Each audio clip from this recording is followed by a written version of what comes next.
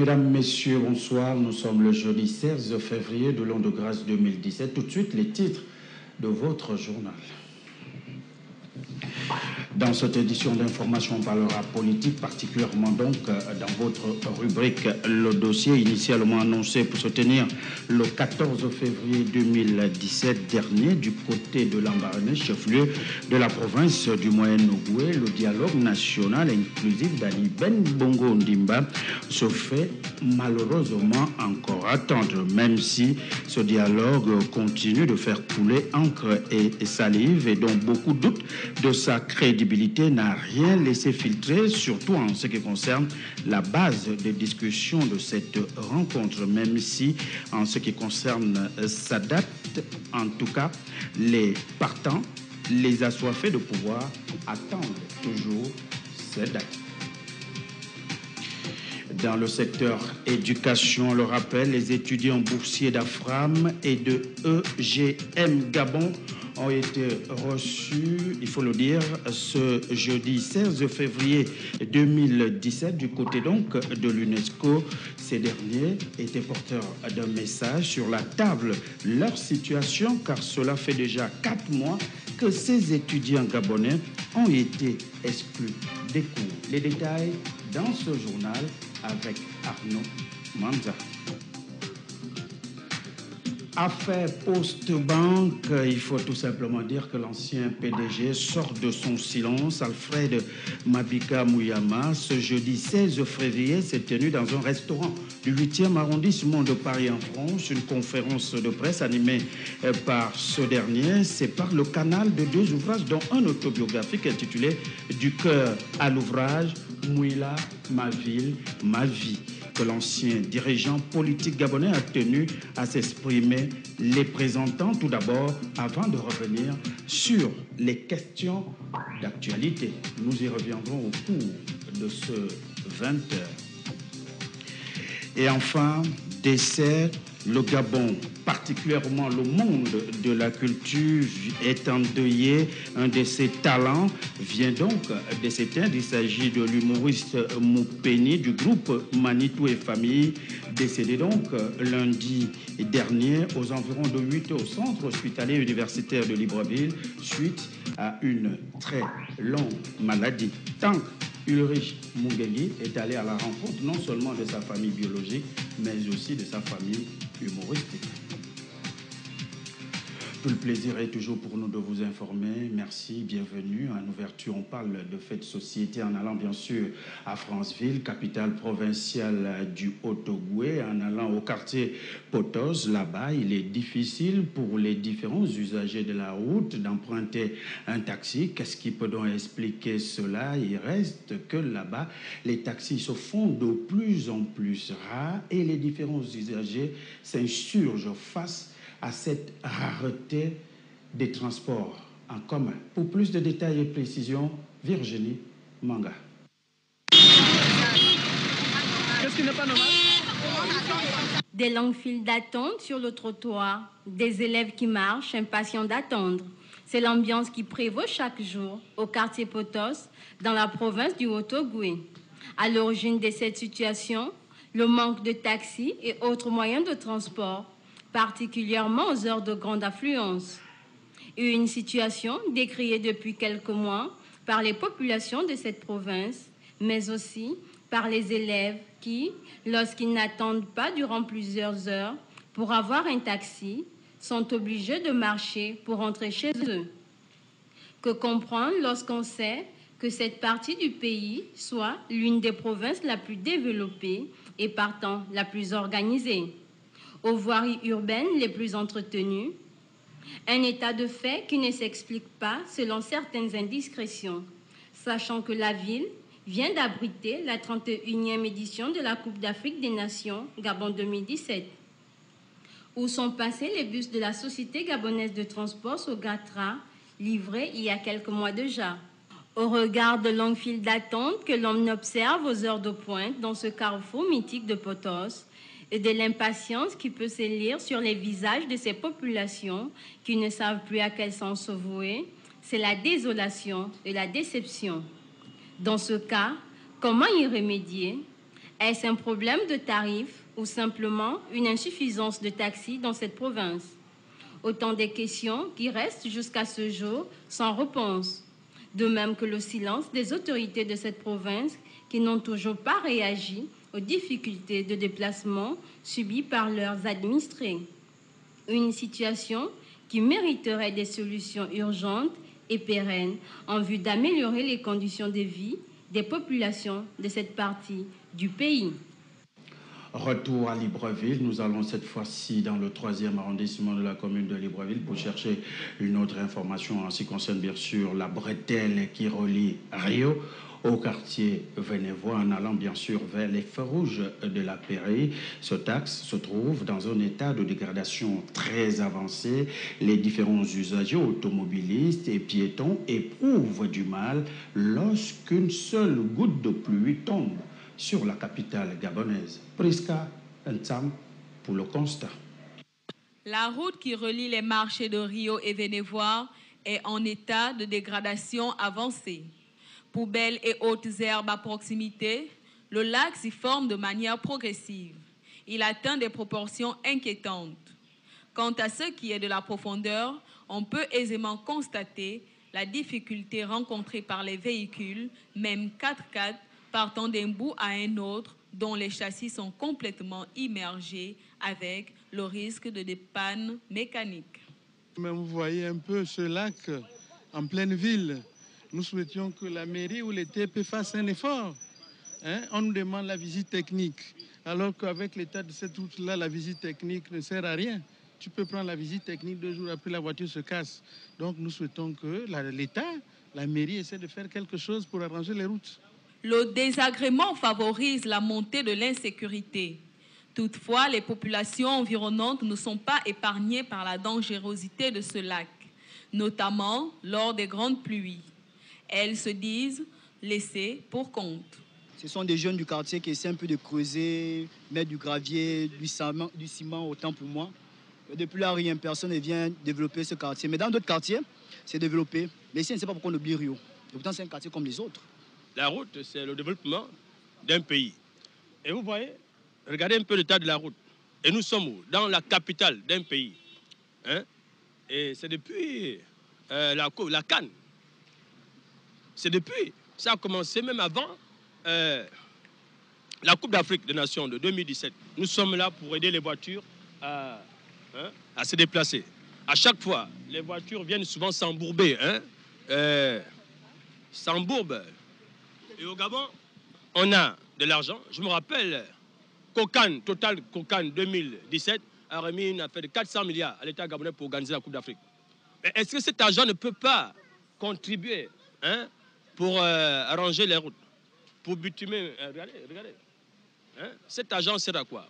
Situation qui témoigne de la mauvaise qualité des matériaux utilisés lors de la construction des routes ou des études de faisabilité souvent balayées du revers de la main.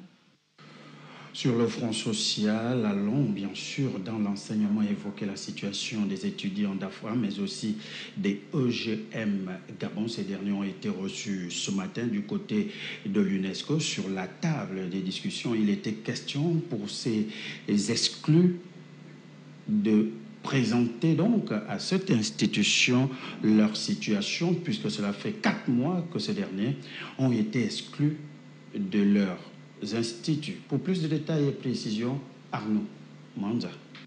La rencontre aura duré près de trois heures de temps à l'UNESCO. Ils en sortent quelque peu satisfaits.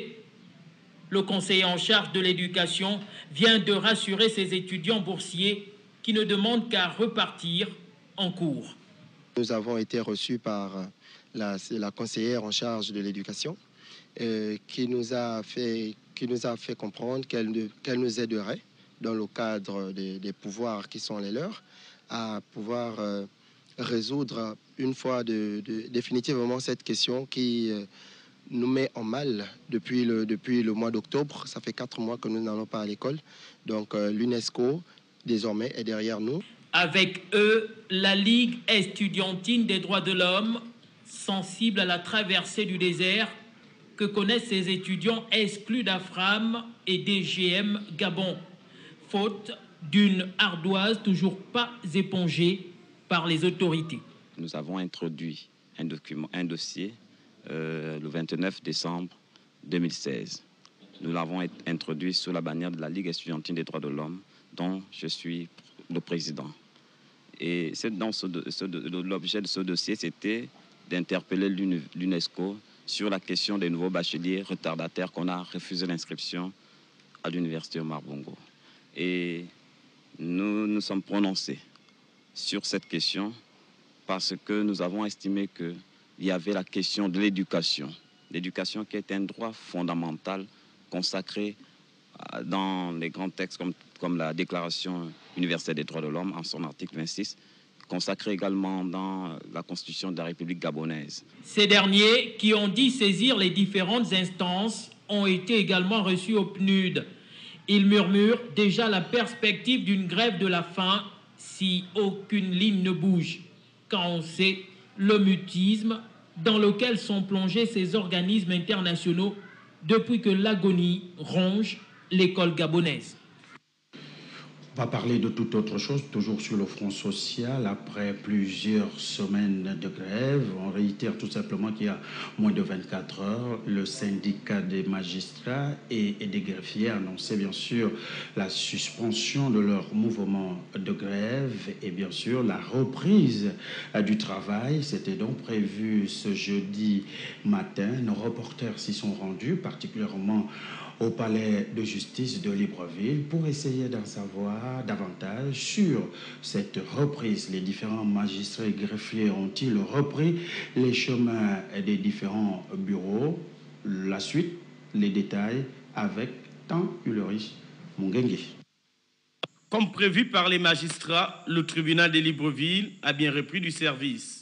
Que l'on soit au greffe ou dans d'autres services, le personnel rassure. Effectivement, nous avons repris ce matin. Nous avons repris le service, donc euh, les justiciables peuvent venir. Tous les magistrats sont à pied d'œuvre en vue de faire ventiler tous les dossiers qui sont restés en suspens euh, ce dernier temps.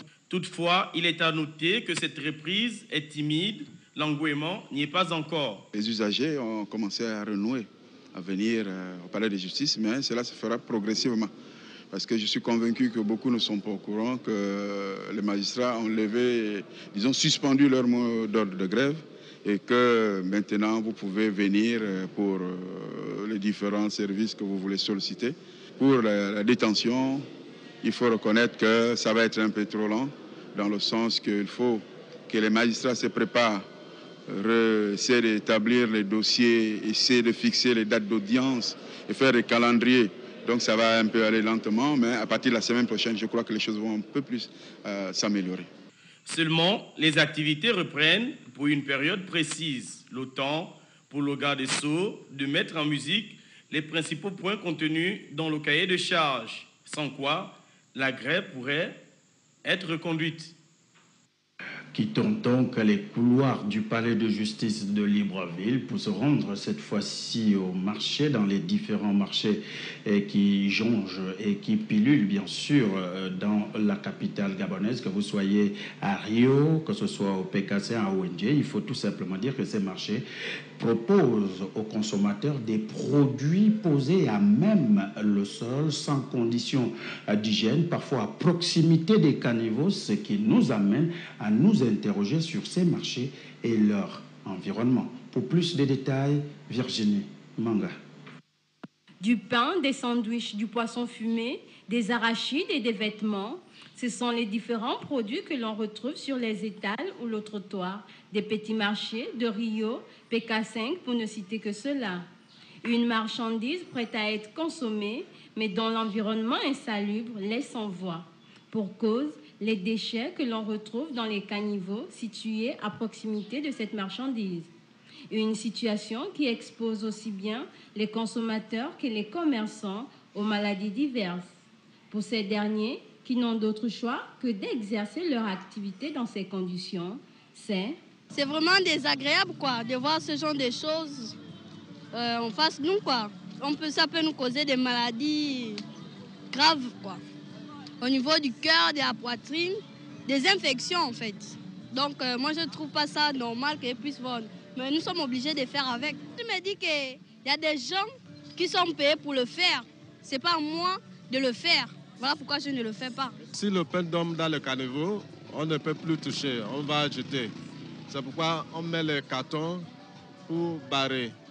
Quand j'arrive là-bas, je prends le carton, je barre pour que ça ne tombe. On ne doit pas couvrir le pain parce que le pain n'aime pas le chaleur. Le chaleur fait en sorte que ça soit comme moumou et puis ça, ça a l'odeur. Donc le pain a besoin de fraîcheur, le vent pour souffler avant que ça soit bon jusqu'à le soir. Malgré les campagnes de sensibilisation sur l'entretien de leur environnement et la protection des produits vendus, aucune évolution n'est observée jusqu'à ce jour, déclare un client. Le message est véhiculé à, à tout moment, mais les, les commerçants ne comprennent pas. C'est un problème d'hygiène.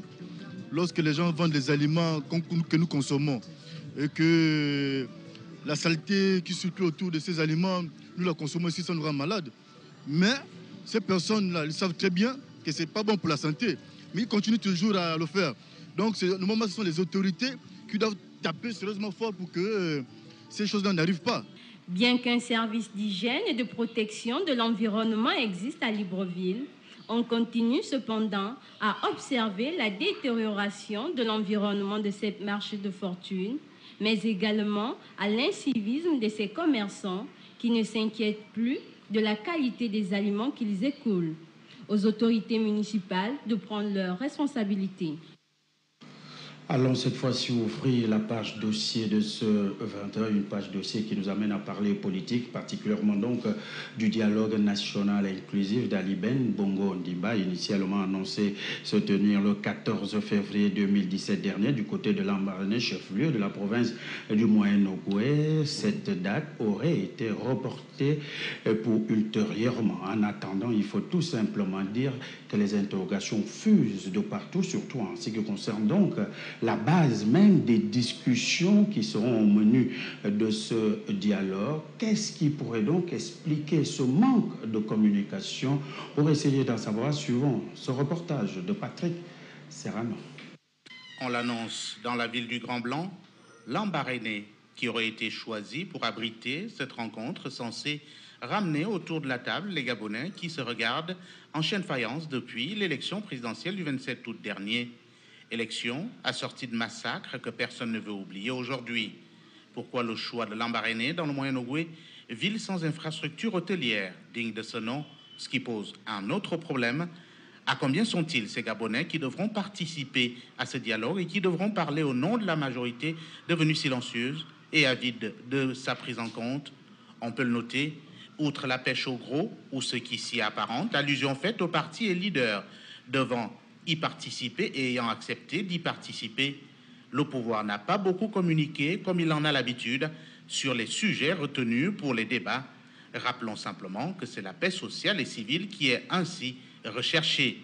En annonçant la participation de 52 partis sur 54 que compte le paysage politique national, le porte-parole de la République s'est bien bombé le torse, pensant donner des sueurs froides aux détracteurs de cette rencontre, perçue avant son démarrage comme déjà caduque.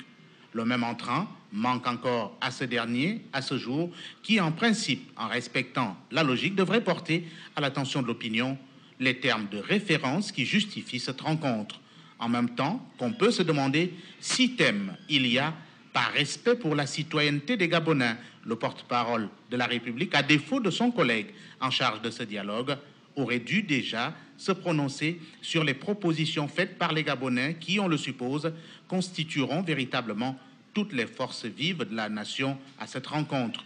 Voilà autant d'interrogations qui font croire finalement que le pouvoir semble lui-même avoir mis les ralentisseurs au processus d'organisation de son dialogue qui pourrait bien ressembler à une balade de santé dans la ville de Lambaréné, chef-lieu de la province du Moyen-Ogoué. L'avenir étant le fidèle compagnon de la vérité, tous le sauront. Faut tout simplement dire que dans le cadre de ce dialogue national inclusif d'Ali Ben Bongo Ndimba, si les, il faut le dire, si les points de vue sont désormais tranchés dans le milieu politique et la société civile, une frange de la population gabonaise veut également prendre part à ce dialogue tambour battant. Il s'agit bien sûr de la jeunesse gabonaise. D'un côté, cette jeunesse en légitimité qui veut systématiquement représenter les autres jeunes et de l'autre côté, ces jeunes actifs, représentants et activistes, bien sûr, dans certains mouvements politiques et partis politiques qui veulent que la jeunesse soit représentée au plus haut niveau. C'est donc un débat sur la participation de la jeunesse gabonaise à ce dialogue national inclusif d'Ali Ben Bongo Dimba. Reportage. S'ils nourrissent l'espoir qu'au terme du dialogue national inclusif appelé par Ali Ben Bongo Ndimba, de nouvelles résolutions seront prises au profit de la consolidation de la démocratie et de l'état de droit au Gabon, l'on se rend véritablement compte que tant que chez les politiques et la société civile, l'on peut tout simplement dire que les différents avis sont désormais tranchés.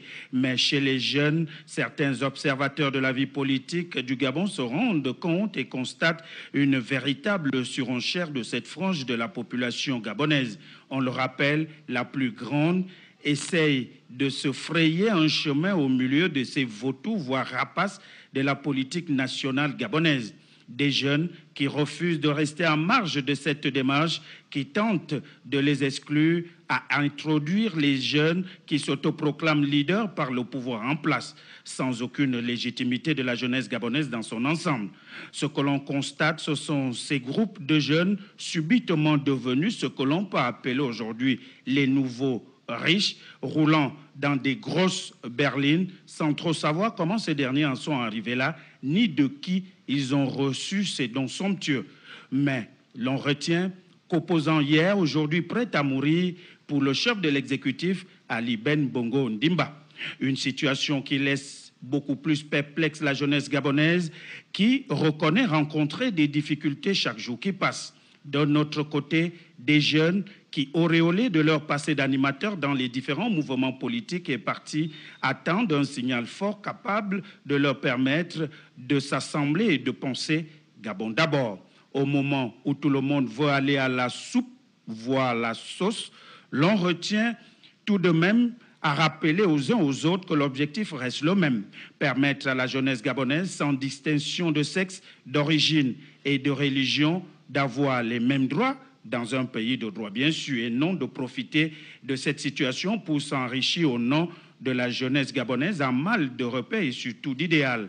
Dans les démarches de cette jeunesse, l'on peut citer la conférence nationale non souveraine de 1990, les accords de Paris de 1994 et les accords d'Arambo de 2006, ayant permis au corps politique gabonais de participer à la réforme institutionnelle du pays, sauf que dans les faits, estiment ces différents mouvements politiques des jeunes, rien, sinon très peu a été réalisé. Pourtant, au terme du dialogue national à venir, ils espèrent tous une application de ce qui en résultera au bénéfice, bien sûr, du peuple gabonais. Il faut tout simplement dire qu'en attendant donc la date de ce dialogue national inclusif d'Aliben Bongo Ndimba, nos reporters ont sillonné les artères de la capitale gabonaise et les recoins, il faut le dire, pour essayer d'en savoir davantage en ce qui concerne donc les points de vue et les avis de nos compatriotes sur la tenue de ce dialogue. Qu'attend-il véritablement? Pour essayer d'en savoir davantage, je vous invite à suivre ce micro-trottoir réalisé ce matin. Vous savez, ce que nous, les Gabonais, souhaitons, c'est que le pays aille bien, c'est que le pays soit arrangé. Mais on voit que les acteurs politiques sont disqualifiés. Ce dialogue ne va rien apporter au pays. Excusez-moi de le dire parce que ce n'est pas la première fois qu'on regardé un dialogue. Dans ce pays-là, il y a déjà eu la conférence nationale qui n'a rien donné si déjà les résolutions de la conférence nationale ont été bafouées. Combien de fois il y a eu le dialogue, je crois, en, en 1994, qui, qui n'a rien donné. On sait très bien que quand on s'en va au dialogue, c'est le partage du gâteau. Il n'y a rien d'autre, mais c'est la population qui va continuer à trimer, qui va continuer à souffrir. C'est pourquoi on a plus que marre de ces dialogues-là. Ce qu'on veut, c'est qu'on change totalement la classe politique gabonaise et qu'il y ait des nouvelles personnes qui arrivent. Dans la Bible, on a dit quoi? Avant de résoudre, avant de donner ta bénédiction, On a peut-être dit, mais l'Éternel, va d'abord t'attendre avec ton frère. C'est pas seulement celui qui est victime qui doit aller vers le, frère. Tout le monde, c'est celui qui est capable, c'est-à-dire celui qui sent qu'à ce moment-là, je dois voir mon frère. De toute façon, je ne me sens pas bien, s'il faut le dire. Je ne me sens pas bien, mais sinon, s'il faut continuer comme ça, c'est qu'il n'y aura, pas, aura pas vraiment de fiabilité dans notre pays. Mais il faut aller au dialogue pour que tout va bien. Je préfère rester mieux sur, sur cette situation. Non, on n'accepte pas, cependant, nous avons mieux à faire, n'est-ce pas? Euh, On cherche de quoi manger, plusieurs jeunes euh, cherchent du travail et le dialogue, certes, il y aura des solutions. Euh, faire la politique de la chaise vide aussi n'est pas une bonne chose. De toute façon, ça, ça, ça concerne les politiciens. Je ne suis pas politicien. Je ne pense même pas. Parce que d'abord, nous les jeunes, nous sommes même pas, en fait, nous ne sommes pas reconnus même par l'État, si je peux dire ça. Par exemple, nous, nous sommes là à l'UOB, tout est sale, l'université vraiment sale, il manque de restaurants. Et on va aller au dialogue faire quoi? Si ce n'est que parler de la politique. Je ne résous pas les problèmes de la nation. On reste toujours en politique cette fois-ci avec euh, cette information. C'est ce jeudi 16 février de l'an de grâce 2017 euh, que Alfred Mapika a tenu dans un restaurant du 8e arrondissement de Paris en France une conférence de presse ce dernier au centre, bien sûr, il faut le rappeler, de toutes les attentions et au cœur d'une controverse liée à la faillite de la Poste Banque, l'ancien directeur général de cette cette structure bancaire s'est finalement résolu à rompre le silence devant toutes les accusations qui pèsent sur sa personne. Ainsi, pour rétablir la vérité, Alfred Mabika s'est appuyé sur l'écriture pour mettre à nu les allégations dont il fait l'objet à travers son ouvrage intitulé La poste du Gabon, de points, controverses et manipulation politique dans cet ouvrage au sein duquel il livre sa part de vérité, l'ancien dirigeant de la Poste pointe du doigt l'État gabonais et surtout le Premier ministre actuel, Franck Emmanuel Isozé Ngondé, lesquels n'ont pas satisfait leurs obligations à travers ce qu'il a appelé des engagements non assurés avec l'octroi des subventions non payées et suspendues pour le premier et par la gestion occulte et inappropriée des problématiques liées au développement de la post-bande pour le second. Concernant l'opération Mamba, à l'origine de la mise aux arrêts des responsables publics gabonais, l'ancien ministre se dit ne pas être concerné car au moment de quitter la poste, dit-il, celle-ci se trouvait, se trouve les rails. Pour rappel, les deux offres d'Alfred Mabika sont disponibles à Paris au drugstore du 133 avenue des Champs-Élysées, mais également sur le site de vente en ligne Amazon et dans les magasins FNAC. Nous y reviendrons dans nos prochaines éditions d'information en images et bien sûr en son. On va parler cette fois-ci de la question des droits de l'homme dans notre pays. Encore une préoccupation au niveau national qu'international. On le rappelle, ces valeurs sont considérées comme essentielles dans la gouvernance des États. Qu'en est-il dans notre propre pays, le Gabon? Et c'est bien l'objet de cette consultation nationale initiée par la société civile gabonaise avec pour partenaire l'organisation non gouvernementale Civicus. Juste Njana, Patrick Serrano. Si l'article 1er de la Déclaration universelle des droits de l'homme reconnaît que tous les êtres humains naissent libres et égaux en dignité et en droit, et qu'ils sont doués de raison et de conscience et doivent agir les uns envers les autres dans un esprit de fraternité, c'est dire à quel point ces valeurs sont perçues comme essentielles, sinon indispensable dans la vie de tout être humain. Et c'est un combat de longue haleine et de tout temps, bien sûr.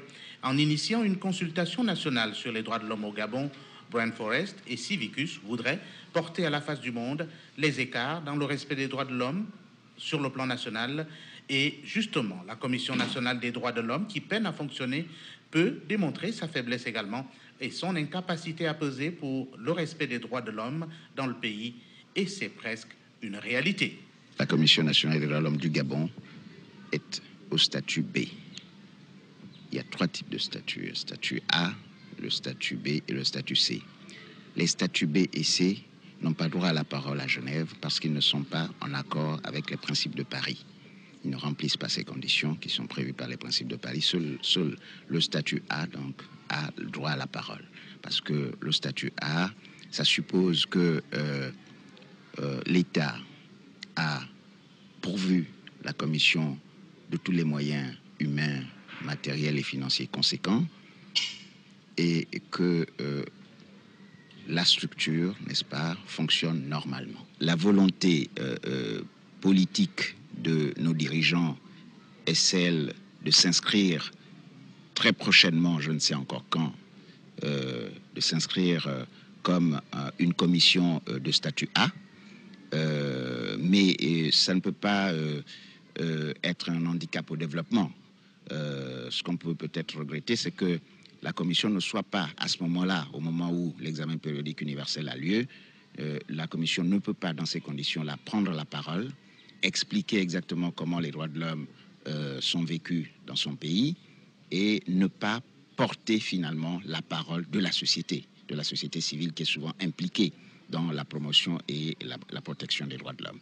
La société civile gabonaise, en prévision justement de la prochaine session des Nations Unies sur les droits de l'homme, avec l'appui de l'ONG Civicus, voudrait prendre les devants en donnant l'alerte effectivement sur les violations flagrantes des droits de l'homme au Gabon des violations évidentes qui sont un véritable handicap pour la crédibilité du pays dans le concert des nations. Le Gabon, euh, les conditions ne sont pas, font en sorte que nous ne soyons pas au statut A. Donc l'État parlera, mais en présence de la Commission nationale des droits de l'homme et de la société civile qui feront juste de, la figuration. Est-ce que c'est pas un handicap? C'est un handicap parce qu'on ne peut pas défendre notre point de vue euh, on ne peut pas répondre aux questions qui seront posées. On ne peut pas. Vous avez entendu tout à l'heure le président de la Commission des, euh, droits de l'homme, la Commission nationale des droits de l'homme, qui le déplorait parce qu'il sait qu'il ne peut pas mettre son grain de sel, il ne peut pas, euh, il peut pas, il peut pas parler, il ne prend pas la parole, il peut pas, il peut pas défendre son point de vue. bon?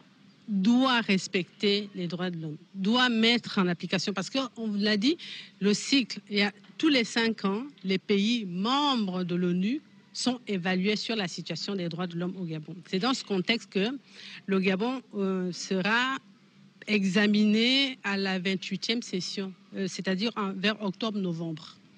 Et il devra faire parvenir son rapport sur la situation des droits de l'homme en juillet 2017. Et dans ce rapport, en principe, il devrait tenir compte euh, du travail de la société civile, des recommandations de la Commission nationale, mais il ne le fait pas. Parce que dans l'année, l'année avant novembre 2017, en principe, le Gabon devrait mener des consultations dans le pays entier consulter tout le monde, examiner les cas de violation des droits de l'homme. Déjà, mettre en application les recommandations qui lui ont été faites il y a cinq ans. Vous avez entendu le président de la Commission nationale des droits de l'homme qui dit qu'on a fait une centaine de recommandations euh, au Gabon il y a cinq ans. Il n'y a pas eu de comité de suivi. Cette consultation qui reste un élément essentiel dans le suivi du respect de ces droits de l'homme par les détenteurs des obligations. Une consultation qui est également un mécanisme pouvant aider à dresser l'état de la situation selon qu'on se trouve dans un pays ou un autre.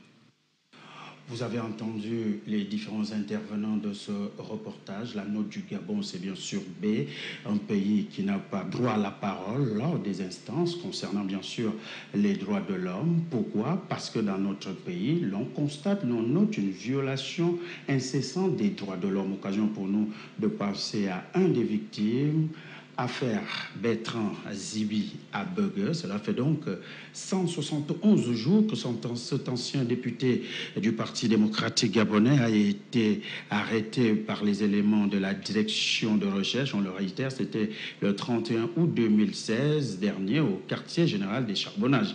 Il est toujours actuellement en détention et de manière arbitraire à la prison centrale de Libreville. Autre violation des droits de l'homme. Il s'agit bien sûr de ce nouveau code de la communication en ce qui concerne bien sûr cette consultation de la société civile sur les droits de l'homme dans notre pays, le Gabon. La question donc de ce nouveau code de la communication a pris une place importante dans les débats.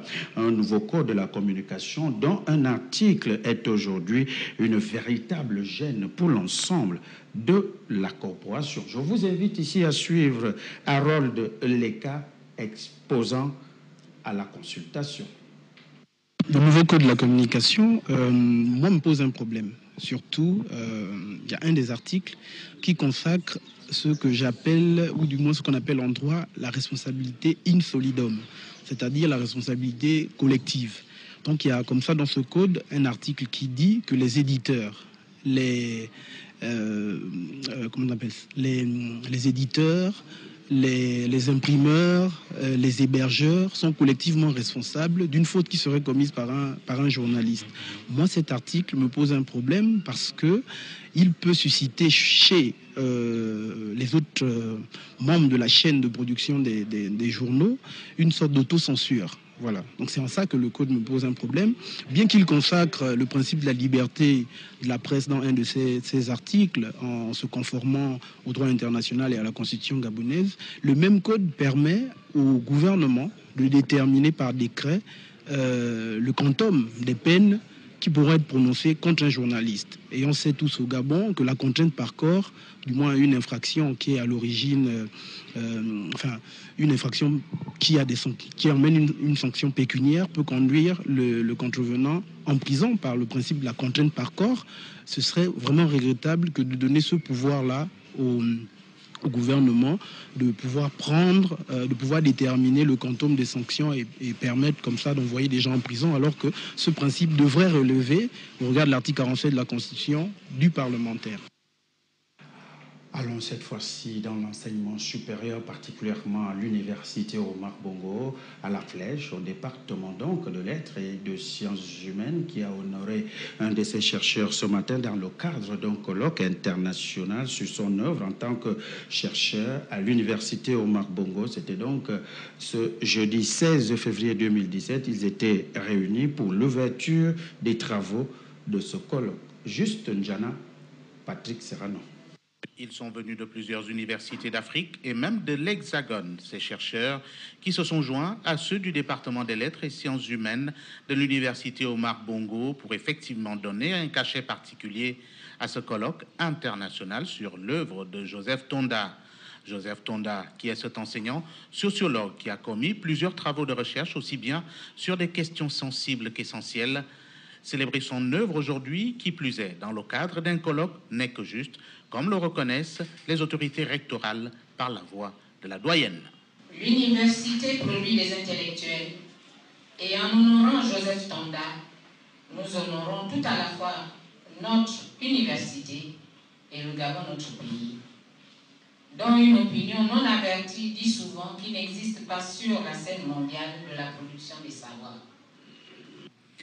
L'œuvre de Joseph Tonda, une œuvre utile, et c'est bien l'avis de ses pairs à l'Université Omar Bongo qui perçoivent dans le travail de l'homme une forme d'universalité qui met la société face aux responsabilités immenses, notamment dans cette quête des hommes au mieux vivre. Et c'est bien là tout le sens à donner aux recherches qui prennent pour appui naturellement la société on a des, thèmes à peu près qui sont des thèmes très importants. Donc ces thèmes sur la violence, ces thèmes sur l'argent, ces thèmes sur, euh, je dirais, l'urbain, et puis euh, il y, a toute cette dimension euh, de décloisonnement, c'est-à-dire que ce n'est pas seulement le local qui est important dans son, dans son travail, c'est cette ouverture vers le monde, vers le global. Donc cette œuvre, qui permet de dire ce qu'il en est de la violence, ce qu'il en est du, pouvoir euh, dans le monde.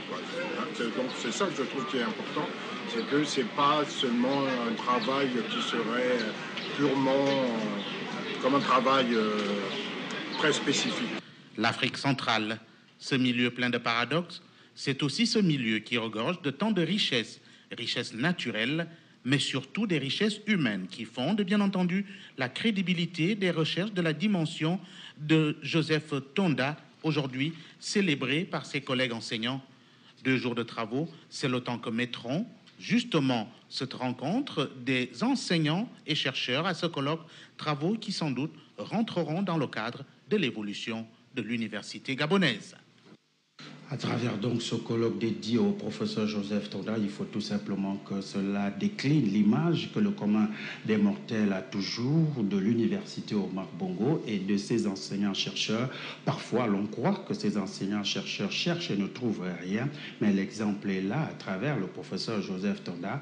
Ces enseignants-chercheurs cherchent et trouvent, même si les autorités de notre pays semblent avoir relégué au calendrier grec la recherche scientifique dans notre pays. Patrick Serrano. Même s'il apparaît difficile de parler de soi, la reconnaissance et le regard d'autrui sont bien ce baromètre qui sert à se donner bonne conscience de la justesse de la démarche de tout un chacun, surtout les chercheurs, tant l'évolution de la société, bien entendu, est à leur avantage. Joseph Tonda, tout gêné d'évoquer personnellement son nom, mais il apparaît ici, comme d'autres chercheurs, comme une lumière dans la création scientifique de l'université Omar Bongo. Pas du tout mise en valeur, sans doute volontairement ignorée, mais c'est bien en ces occasions que tous peuvent bien se rendre compte de la pertinence des travaux qui allient savoir-faire, mais surtout terrain qui reste, à tout point de vue, un meilleur appui. Ce colloque est à l'honneur de l'université. Et ma modeste personne ne sert que de médiation. Et ce sont surtout les universitaires de la faculté de lettres et sciences humaines qui, en dehors de moi, ont pris l'initiative d'organiser ce colloque. Et je ne vous cache pas qu'au départ, je m'y suis opposé. Moi, ce que je fais, c'est un travail de sociologue. Et le sociologue a pour technique deux choses. La première chose qu'il faut absolument faire, c'est du terrain, c'est-à-dire euh, enquêter, observer et euh, tirer des conséquences sur le plan théorique. Ça, c'est la deuxième technique. Une capacité à lire ce qui se produit des collègues qui, produisent des, textes. Il faut lire ces textes. Il faut être informé euh, du débat sur le domaine qui est le vôtre. Et c'est ce que j'essaye de faire. et peut-être que si j'ai une originalité, elle tiendrait peut-être plus du fait que le terrain chez moi, ce n'est pas seulement une approche euh, de type euh, distancié où je n'observe que les autres. Je vis en Afrique centrale, je vis au Gabon et j'ai beaucoup travaillé au Congo-Brazzaville. J'ai une expérience de la société gabonaise et de la société congolaise que j'essaye de conceptualiser. Et je conceptualise ces sociétés, c'est-à-dire des sociétés d'Afrique centrale, puisque je vois ce que les collègues écrivent sur le Cameroun, sur le Congo-Kinshasa, la République sur la Guinée équatoriale, et je me rends compte qu'il y a des phénomènes qui nous sont communs. Pourtant, ce qui se dégage de l'université Omar Bongo n'est que l'ombre du désespoir, un désespoir qui voile dangereusement tous les efforts fournis par les enseignants-chercheurs qui sont des œuvres utiles pouvant servir pour la nation, bien sûr. C'est le lieu ici de s'interroger sur la valeur que les autorités accordent à ces chercheurs, à l'institution dans laquelle ils évoluent, si nul n'est prophète chez soi, que le prophète bénéficie au moins de quelques sympathies des siens. Allons ouvrir la fenêtre de ce 20h avec une problématique bien précise qui vous concerne. Se marier, on le rappelle, est une noble cause, mais face à l'évolution du temps et des mœurs, les, les risques de rencontrer qui un frère, qui une sœur, et faire d'elle ou de lui ça ou son promis ne sont plus réductibles aujourd'hui. Une situation due à l'ignorance des origines et des mœurs. Qu'est-ce qui peut donc expliquer cela et comment réagirez-vous si, lorsque votre fille vous présente son, son prétendant et que vous vous rendez compte que c'est un parent à vous, comment vous pourriez prendre cette situation? Virginie Manga. Définie comme une union légitime de deux personnes dans les conditions prévues par la loi, Le mariage reste cet acte qui unit également deux familles, deux clans. Une réalité qui tend à disparaître avec ces rencontres qui se font sans impliquer les familles respectives. D'où ce sentiment de désolation et de colère lorsqu'on découvre que sa future épouse ou son futur époux est votre sœur ou votre frère. C'est une colère de part et d'autre quand vous savez que vous avez des liens. C'est une, une, colère de toutes les deux familles. Et c'est ça. Donc qu'est-ce qu'il faut faire? Il faut arranger. Il faut réunir les deux et les parler et leur signifier que vous, êtes, vous avez des liens. Vous-même, vous savez que les enfants actuellement, ils vivent partout au dehors et puis ils ne respectent rien. La coutume, tout, bah, disons, euh, bon, vraiment, ils ne respectent rien. Ça ne leur dit rien. Nous, les parents, nous savons la signification des liens. Ben, et puis ça paye après. Avant de connaître une femme ou un homme, il serait bienvenu que l'on découvre les origines de l'un ou de l'autre. Oh, il serait fort difficile que ce genre de cas-là arrive dans la mesure où dans nos traditions, avant d'épouser une femme, euh, l'homme prend soin de demander la tribu de la femme, que ce soit du côté paternel ou du côté maternel. Hein, on s'avise toujours de demander la tribu de la femme. Donc il est très rare que ce genre de cas arrive. Mais s'il se trouve, se trouve, bon, qu'est-ce qu'il faut faire? C'est payer l'amende, tout simplement, payer l'amende et ensuite procéder euh, au divorce. Pour d'autres, Bien que la famille africaine soit élargie, il faut tout de même éviter la déception. Avec euh, non seulement l'exode rural et tout ce qui va avec, c'est difficile d'avoir, de, euh, n'est-ce pas, euh, de connaître toute la famille. Donc, vous savez qu'aujourd'hui, à force d'aller chercher du travail de gauche à droite, on fait des enfants au fur et à mesure que l'on voyage. On est vraiment, vraiment, parfois buté par la réalité. Hein, découvrir après peut-être une longue durée que la personne avec qui vous vivez, c'est votre soeur. Donc, euh, vraiment, c'est une question de... J'avoue que euh, la mondialisation aussi nous tue un peu. Afin d'éviter la malédiction, il faut immédiatement arrêter la relation, déclare une autre catégorie de personnes. Dès lors qu'il y a le lien de sang, c'est une malédiction quelque part. Et puis, selon la, la religion aussi, ce n'est pas bon de se marier avec sa propre soeur. Il y a la malédiction familiale qui est là, il y a la malédiction religion, de la religion qui est aussi là. Donc je vais devoir abandonner hein, cette relation. Si je découvre que l'homme avec qui je vis, hein, c'est mon frère, ma réaction, c'est d'arrêter et aller à l'église pour qu'on coupe ces liens. Dieu va me pardonner parce que c'est un truc que j'ai fait inconsciemment et il va me pardonner. Se marier est une noble cause, mais respecter nos us et coutumes est encore mieux. Or, de plus en plus de jeunes ne s'intéressent plus au clan ni aux origines des êtres aimés, d'où ces dérives que l'on observe aujourd'hui. Aux uns et aux autres de reconsidérer leur culture. Le débat se poursuit chez vous. Et c'est la raison pour laquelle nous laissons donc cette fenêtre toute ouverte, attendant votre contribution à ce débat.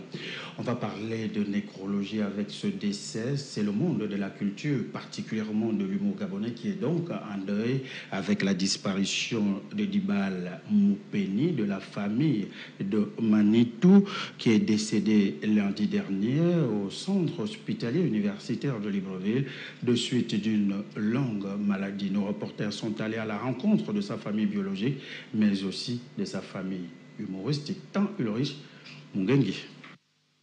Les larmes ne cessent de couler depuis son décès, comme on le voit avec ses proches. L'humoriste gabonais Moussouami Mbumba Serge Olivier, communément appelé Dibal Moupeni, né le 22 novembre 1985 à Libreville, s'en est allé lundi à 8 heures suite à une infection pulmonaire au centre hospitalier de Libreville. Encore sous le choc, Manitou témoigne en larmes. C'est très compliqué, c'est vraiment compliqué parce que c'est difficile quoi. Et je disais toujours à mes petits que je préfère partir avant vous, sinon je ne pourrais pas supporter c'est compliqué pour moi. Mon souhait, c'était d'aller un peu partout, partout avec mes gars, mais c'est vraiment compliqué que la presse se déplace pour... Une situation encore difficile à consommer pour sa famille. Aujourd'hui, la famille perd quelqu'un, euh, non seulement la, famille artistique, mais nous-mêmes d'abord, qui est de sa propre famille. on perd quelqu'un euh, qui nous apportait beaucoup, avec qui on dialoguait. moi, en qualité de, grand frère, euh, dans le métier aussi d'humour, on avait beaucoup de choses, on s'échangeait, on avait une complicité. Et aujourd'hui, c'est difficile parce que il ne sera plus avec moi, avec qui on va plus dialoguer, on n'aura plus cette complicité. Je suis vraiment ému et touché, ça me fait vraiment mal. Ça fait en gros cinq ans que lui et moi ensemble. Il m'a appris beaucoup de choses, surtout même côté sono, il m'a appris comment mixer, il m'a dit on fait cela. J'ai appris beaucoup de choses avec lui. Oh, j'étais euh, au chevet de son lit quand il était malade. Euh, c'était vraiment, il me parlait, on, discutait. Il m'a dit ça va aller, ça va aller frère, ça va aller. Je vais guérir, on va se retrouver, ça va aller.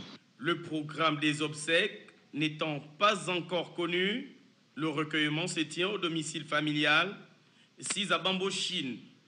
Notons que ce dernier a été première classe d'humour dans le groupe Serrer les dents, aujourd'hui appelé Manitou et Famille. On rappelle tout simplement que Dibal Moupenu nous a juste précédé. Au-delà, nous souhaitons donc à toute sa famille nos sincères condoléances. La question du jour, la voici. Quel est le plus petit pays en superficie de l'Union économique et monétaire ouest-africaine abrégée? UEMOA Réponse. Quel est le plus petit pays de la zone UEMOA Ça, je peux... L'UEMOA, l'Union monétaire d'Afrique de l'Ouest. J'espère, moi, c'est pas si c'est le plus petit pays. Euh, je crois que c'est la Gambie, hein? l'Afrique de l'Ouest. Je crois que c'est la Gambie. Euh, la Gambie. Dis-moi, je ne sais pas. Ah, moi, je ne sais pas. Il y, a, un problème ici. Attends d'abord, on va parler. Ça veut dire, ça veut dire quoi? Et moi? Oh Non, ça, je ne connais pas ça. Dame, excusez-moi pour la question, c'est trop fort pour moi. Excusez-moi, monsieur, dame. Ah, il n'y a aucune idée là. Oh, la Gambie. Mmh, non, je n'ai rien dit. Désolé.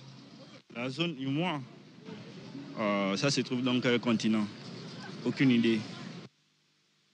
Aucune bonne réponse à retenir tout simplement que le plus petit pays de l'UEMO en superficie, c'est bien évidemment le Cap Vert, avec 4000 33 km sans transition. Voici votre traditionnelle page éphéméride. D'abord, la pensée de l'esprit, qui est bien sûr de Charles Péguy, qui pense, qui dit, je cite, Tout est joué avant que nous ayons 12 ans.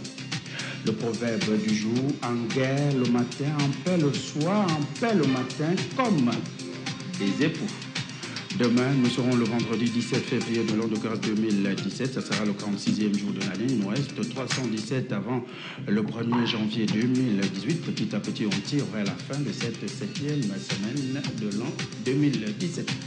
La fête demain est réservée bien sûr à Alexis comme Alexis Henri Liban. Ce communiqué de la télévision du futur, cela fait donc 2702 jours que le ministère de la Communication continue encore et encore de séquestrer le matériel de TV+. Depuis l'élection présidentielle du 30 août 2009 à 17h, les équipements audiovisuels, satellitaires et d'émissions UHF de Libreville de TV+, installés à la Cité de la démocratie et qui permettaient une télédiffusion nationale et internationale, que ces équipements sont toujours séquestrés par le ministère de la Communication. TV+, réclame donc ces équipements audiovisuels au nom de la soi-disant liberté de presse en République gabonaise. N'oubliez surtout pas que l'information continue sur notre site web www.tvplusgabon.com en minuscule. Merci, bonne nuit à tous et à demain, 20h.